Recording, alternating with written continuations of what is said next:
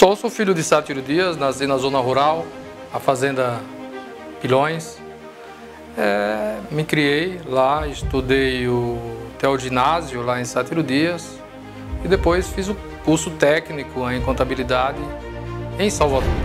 É, morei alguns anos em Salvador, mas só o período de estudo, depois retornei para Salva, para Sátiro Dias. Olha, desde garoto, né? A gente sempre vendo né, a política no município e o nosso município, um município pequeno, um município pobre, e a gente via as dificuldades do homem do campo, da mulher do campo, do cidadão e da cidadã, e sempre tive o desejo de ingressar na política para é, trabalhar pelo povo e pela minha terra.